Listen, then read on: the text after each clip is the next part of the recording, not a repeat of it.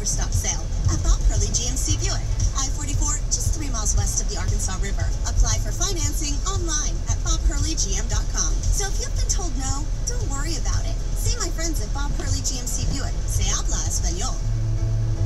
In 1973, America's original guitar rock band planted their flag. Now celebrate Lynyrd Skynyrd live, Saturday, September 17th, 8 p.m.